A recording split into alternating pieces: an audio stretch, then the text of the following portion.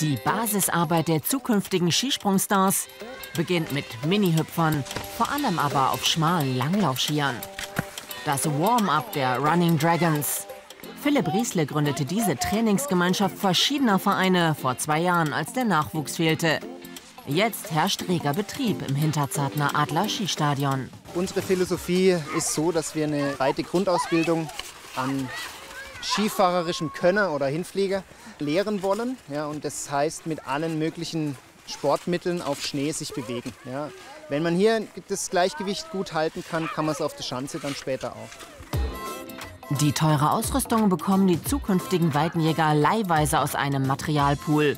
Und wer einmal bei den Running Dragons dabei war, für den ist Skispringen der beste Sport der Welt. Und warum? Das kann man so nicht beschreiben. Man muss es selber machen. Die Kinder zwischen 5 und 12 Jahren trainieren zweimal in der Woche auf den kleinen Schanzen. Doch die sind beachtlich hoch, die Sprünge beachtlich weit. Und mit jedem Sprung geht's ein bisschen weiter.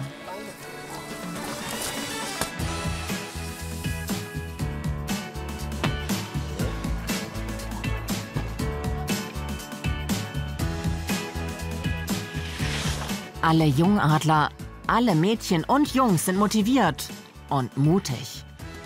Seit vier Wochen ist der fünfjährige Jakob dabei.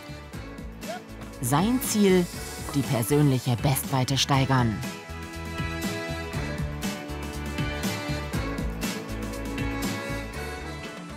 Ich glaube, so weit bist du nicht gesprungen. Bei der 1 und bei der 0?